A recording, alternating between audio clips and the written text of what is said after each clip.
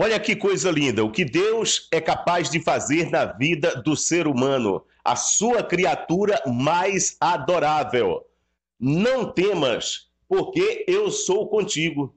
Não te assombres, porque eu sou o teu Deus. Eu te esforço, eu te ajudo e te sustento com a destra da minha justiça. Passagem bíblica de Isaías 41, 10. Então, tem pessoas que apenas se apegam ao que está escrito de forma simples. São pessoas que acreditam naquilo que está escrito e deixa Deus agir. Mas essa pessoa não se mexe para nada. Essa pessoa apenas acredita no que Deus promete, mas fica parada no tempo, imobilizada. Às vezes é uma pessoa fraca espiritualmente. É uma pessoa que se deixa levar pelo mal. Eu falei, uma pessoa que se deixa ser levada pelo mal. Então é preciso que você seja forte espiritualmente, porque a carne é fraca. É preciso que você esteja perto de Deus. Aí você me pergunta, televangelista, como está perto de Deus? Veja bem, nós estamos aqui neste momento neste momento de palavra. Deus está próximo, Deus está aqui, Deus está de forma espiritual e até falando com você através dessa programação. Seja aqui ou em qualquer lugar, Deus está perto ao seu derredor e o inimigo também está por perto. Então é preciso que você esteja alinhado com Deus. É preciso que você esteja andando nos caminhos de Deus, junto com Deus, no mesmo pensamento de Deus, ou seja, com o mesmo pensamento de Deus. É preciso que você tenha o pensamento de Deus, que você venha a pensar como Deus. Isso quer dizer não ter a mesma capacidade que Deus tem, porque a capacidade de Deus é suprema, é infinita. Não se sabe a capacidade de Deus. Sabemos que as coisas de Deus são perfeitas demais. Mas é preciso que você pense como Deus, a fazer as coisas certas, a fazer as coisas que venham agradar aos olhos de Deus. Então, se você começar a agradar a Deus, se você estiver próximo a Deus, fazendo tudo isso, as coisas vão acontecer na sua vida. As coisas vão surgir, vão ser resolvidas, os problemas vão ser resolvidos, as dificuldades, você vai superar as dificuldades, os seus problemas, o que você vem passando, o seu dia a dia já não vai ser mais o mesmo. Então é preciso que você esteja perto de Deus, porque Deus vai te trazer ensinamentos. Se você está perto de Deus, ele vai te dar sabedoria, vai dirigir você para que você venha fazer as coisas que você precisa fazer para a sua vida mudar, para a sua vida ser transformada, mudada em todos os sentidos da sua vida, seja na economia, seja familiar, seja na vida pessoal, espiritual, sentimental. Então é preciso que você venha cuidar da sua vida espiritual, fazer essas coisas, estar próximo a Deus, estar alinhado a Deus para que a sua vida venha a ser mudada, a sua vida venha a ser transformada. Então Deus está aí com as suas promessas, as suas promessas que não são de hoje, é de desde a existência do nosso Deus, desde a existência do mundo. Então as promessas de Deus estão aí para que possa te ajudar. As promessas estão aí para te ajudar. Está aqui. Deus falando com você. Olha o que é que Deus diz. Vou ler novamente. Não temas. Então, você não tem que ter medo do que está acontecendo em sua vida. Você não tem que ter medo do inimigo, porque o inimigo é influenciador. Ele coloca palavras, aliás, influências, pensamentos negativos, ele coloca como uma flecha, ele lança em seu pensamento, em seu cérebro, na sua cabeça. Ele lança o inimigo. Então não temas, porque eu sou contigo. Está aí, Deus dizendo. Deus não é mentiroso. As promessas de Deus estão para todos os sentidos da nossa vida, volta a dizer. Então não temas, porque eu sou contigo.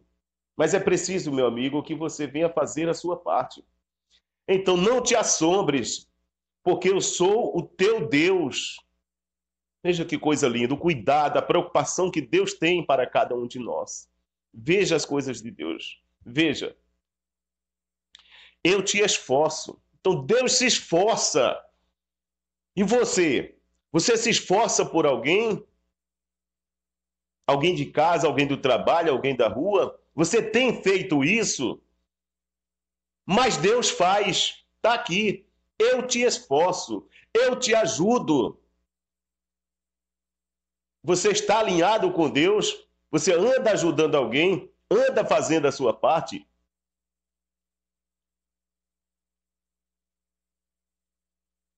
E te sustento. Então Deus dá sustentação. Então tá aqui. E te sustento com a destra da minha justiça. Sabe por quê? Porque Deus é justo. Olha aqui. Isaías 41, 10. Capítulo 41, versículo 10. Está em Isaías.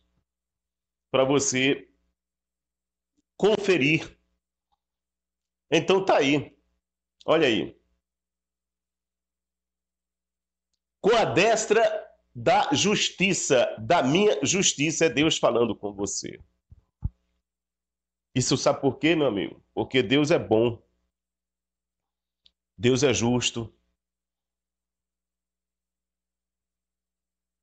Deus tem muito mais para fazer em nossas vidas. Então é preciso que você não somente tome posse dessas palavras, mas que você venha agir também. Deus está agindo, está ali, escrito. Está ali. De diversas formas. Deus vem agindo. Deus já vem agindo. Então, a situação, o problema pelo qual você vem passando, creia, creia que isso não seja mais um problema em sua vida. Não basta você acreditar. Porque quando você vê esse texto, essas promessas de Deus na sua vida, se você é uma pessoa que não esteja alinhada a Deus, você vai acreditar no que está escrito. Você apenas vai acreditar no que está escrito e achar e vai achar que Deus vai fazer algo na sua vida. Vai sim, Deus vai fazer. Mas é preciso que você também venha contribuir para que Deus não haja sozinho. Porque Deus conhece cada um de nós. Deus conhece cada pessoa. Então, a sua fé precisa ser testada. Deus precisa conhecer a sua fé. Qual é a porção da sua fé que você tem nesse momento? Então, a sua fé precisa ser testada. É preciso que você não somente acredite no que está escrito, como você manda imprimir em uma gráfica ou compra lá um impresso e coloca um salmo na parede da sua casa, da sua empresa, está lá. Lindo, graças a Deus, está ali. A promessa de Deus está ali. Palavras de Deus está ali. Mas o que eu quero dizer, reforçando, é que as pessoas, às vezes, acredita apenas no que está escrito, coloca lá e pronto, e tchau. É com Deus. Não é bem assim. Porque acreditar em Deus, até o inimigo, até o diabo acredita em Deus. O que é que eu quero dizer, televangelista? É que você tem que crer. Você tem que crer naquilo que você não vê. Isso é a sua fé. Você tem que crer para que as coisas possam acontecer de fato em sua vida. Mas que você, ao mesmo tempo, também esteja alinhado com Deus. Com o mesmo pensamento de Deus. O que é o mesmo pensamento de Deus? É você fazer as coisas que Deus quer que você faça. É você fazer as coisas certas. É você deixar de fofoca, é você deixar de mentira, é você tirar esse ódio do seu coração, é você fazer mais o que? Coisas que não são bem vistas, desagradáveis aos olhos de Deus. Você sabe distinguir, separar o que é certo e o que é errado. Todo mundo sabe o que é certo e o que é errado. Não é preciso dizer tudo aqui. Você sabe. Então, se você começar a fazer isso, a deixar algumas coisas, você já está ali andando no mesmo caminho de Deus. Você está tendo o mesmo pensamento de Deus. Você está próximo a Deus. Deus vai estar ainda mais próximo de você. E o que é que acontece? Só vem coisas boas para a sua vida. As coisas começam a fluir. As coisas começam a surgir de forma inesperada. Então, minha amiga, meu amigo, seja uma pessoa temente a Deus. Uma pessoa temente a Deus não é uma pessoa ter medo de Deus, porque Deus não é nenhum bicho papão. Então, temente é você ser uma pessoa obediente, é você obedecer a Deus, as palavras, o que ele promete fazer na sua vida, o que está escrito na Bíblia. Então, se você é uma pessoa obediente a Deus, começa a agradar a Deus, Deus vai começar a fazer muito mais na sua vida, para que a sua vida seja abençoada de fato. Você que é pai, você que é mãe, quando um filho começa a agradar ou agrada e muito a você, meu amigo, minha amiga, como você se sente? Se sente uma pessoa feliz, não é verdade?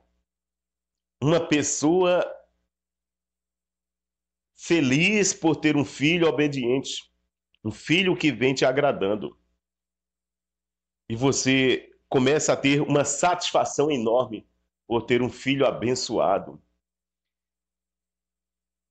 E a depender da sua condição, você começa a agradar o seu filho, dar algo ao seu filho, presenteá-lo. Pela obediência, pelo filho bom que você tem. Então, da mesma forma é Deus. Deus que é o nosso Pai. Deus que é o nosso feitor. Deus começa a ficar ainda mais feliz com você.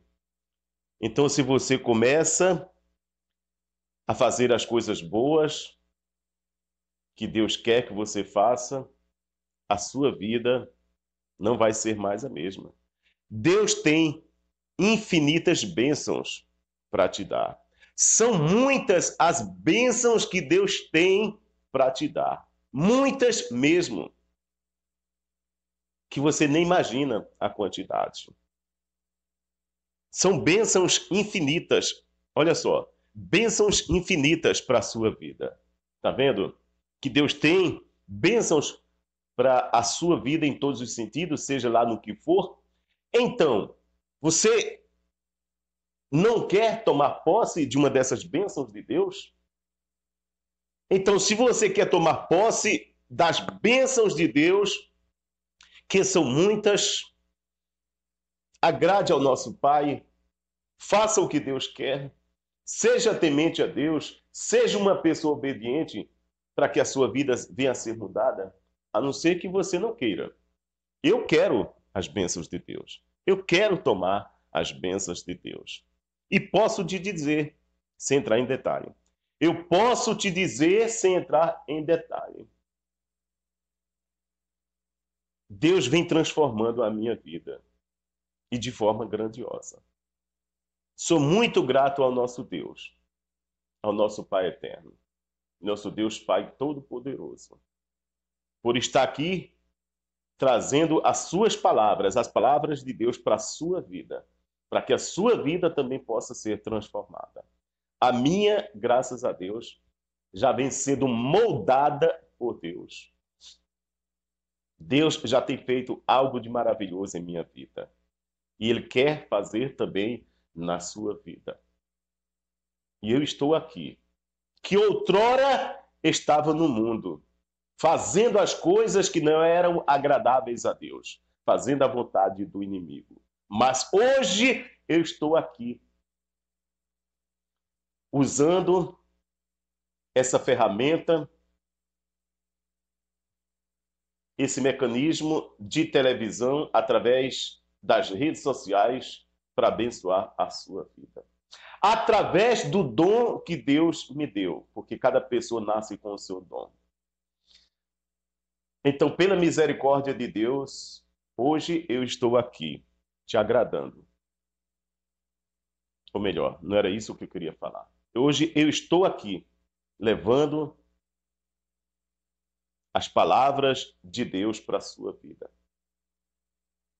Seja obediente a Deus, irmão, para que a sua vida não seja mais uma vida de humilhação. Nós temos essa programação aqui, dominical, todos os fins de semana. Domingo do Senhor para abençoar a sua vida.